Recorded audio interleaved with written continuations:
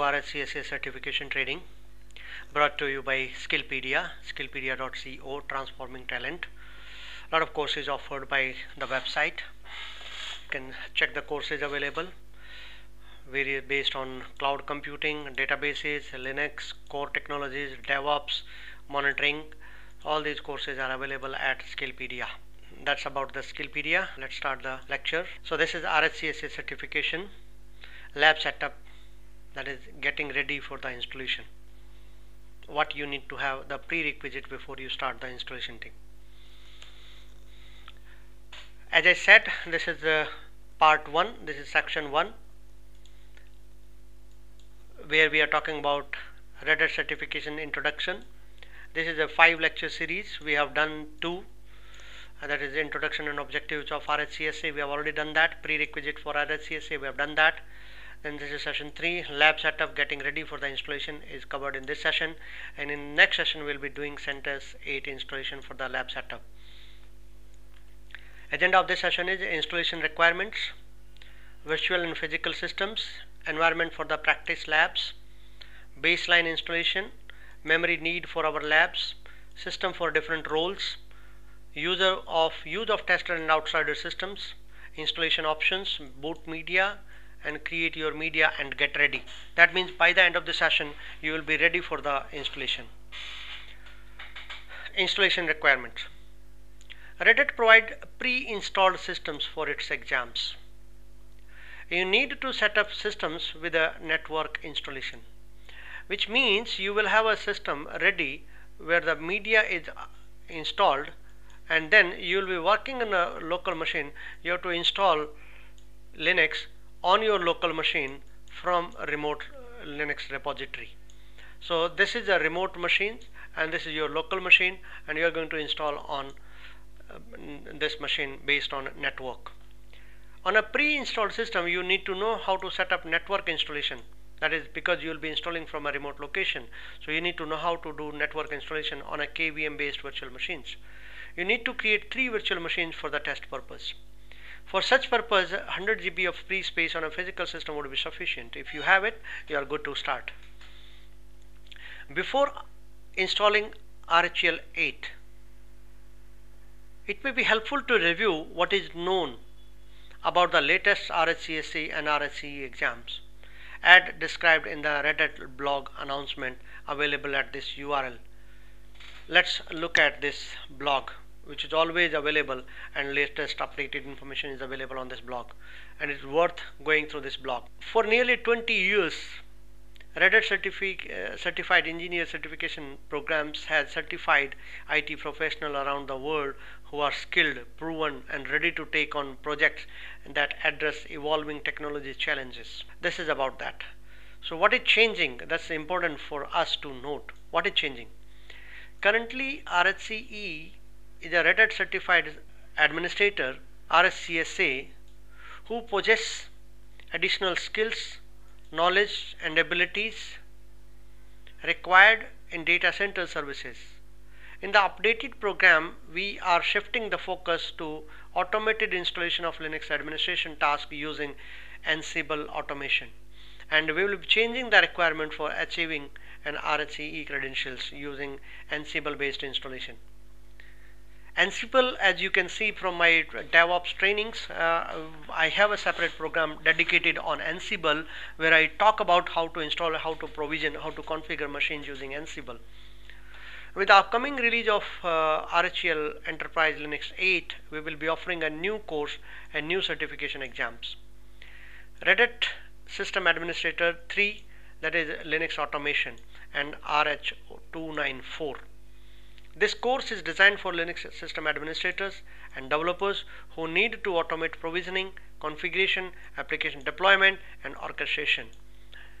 You will learn how to install and configure Ansible on management workstation and prepare management host for automation.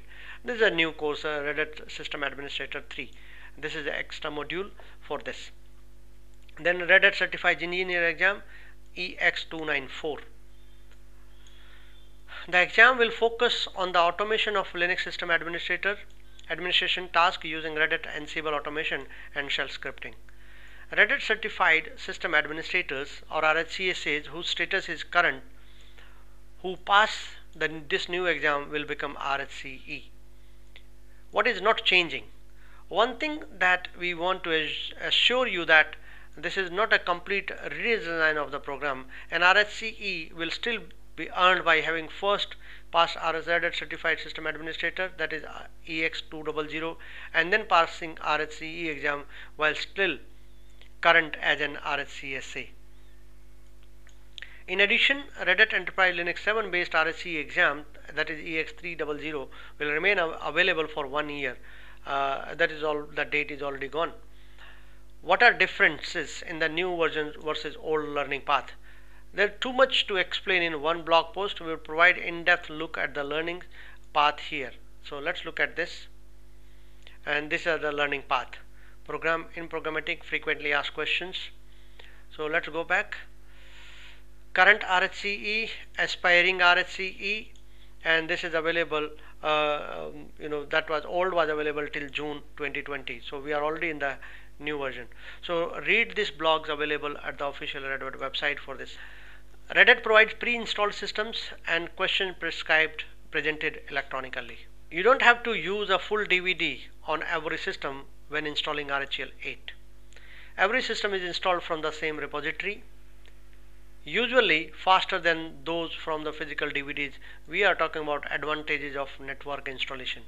Why do we need installation from network? Why not using from the hard disk or DVD based installation? It becomes especially powerful when combined with kickstart files and a pre-boot execution environment that is PXE environment. All you need to do to install RHEL 8 is a boot system, boot a system, automatically download the appropriate kickstart file and after a few minutes you will have complete RHEL 8 ready machine. Virtual and physical systems Virtual machines can't stand alone. That's the point. They require some connection to a physical system. Even when you say bare metal virtualization solution, that was built from specialized version of uh, Linux kernel which act as operating system on the physical host because this is impossible the layer cannot be changed we have physical on the top of that we have operating system that is second layer whether you are using this operating system as a part of the hypervisor or you are using it as an independent operating system but operating system has to be there. That's the important point. We are talking about the hardware layer. This is hardware uh, and on the top of that we have after that hardware we have the operating system even it is a, whether it is a power of hypervisor or directly. It is possible to install multiple virtual systems on a single physical system. And it's also possible to overcommit RAM and other resources on the from the of the physical system. There is no real difference whether the installation is performed on a physical or a virtual system as far as the installation part is concerned. So when you start installation, there is no difference at all. You can actually uh, do the installation uh, on a virtual machine or the physical machine and the steps are exactly the same. Environment for our practice. The baseline RHEL 8 system I will be using is relatively simple. RAM for the virtual machine will be 4 GB, disk requirement uh, 20 GB virtual disk and total number of disk will be 3, 1 for the installation and 2 for the future needs for LVM setup. Space distribution.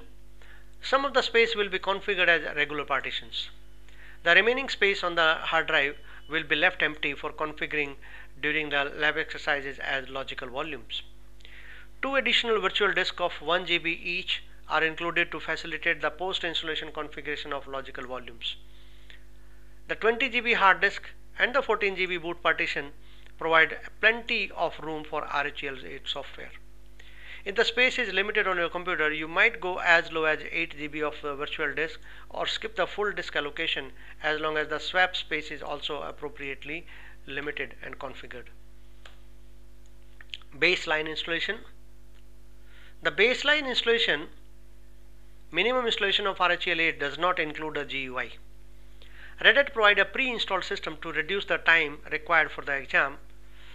It suggests that system provided by Red Hat include the GUI. Memory uh, needed for our labs.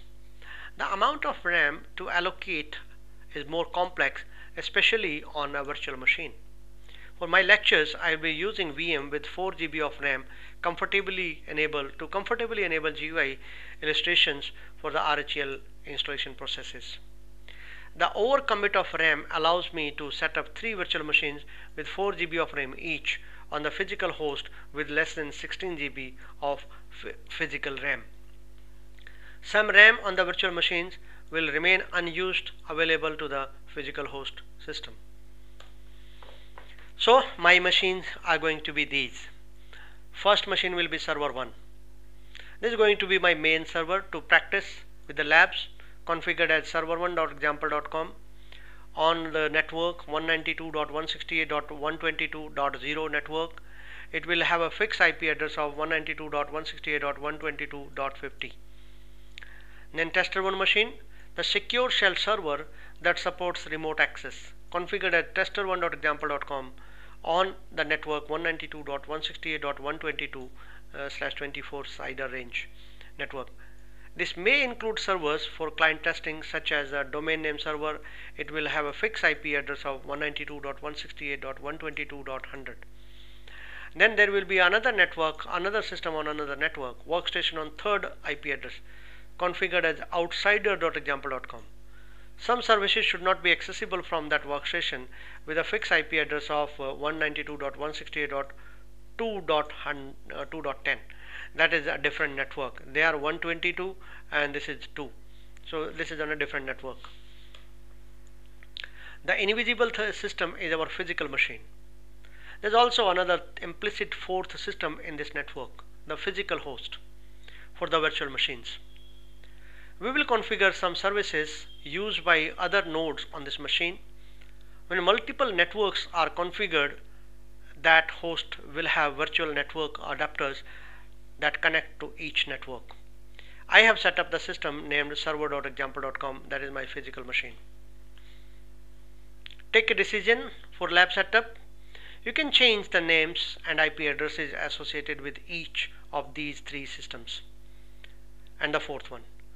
For example, server1.example.com system. It is designed, it is designated exam system, which will be used for exercises that address actual Red Hat exam requirements. For convenience, we have also set up some RSC services on physical host machine. Uh, for example, FTP server and Apache server to provide network repository for network based installation. I have set up the I have uh, put them on my physical machine or the physical system. Use of tester and uh, outsider systems. The tester system can be used to verify the configuration on the server system.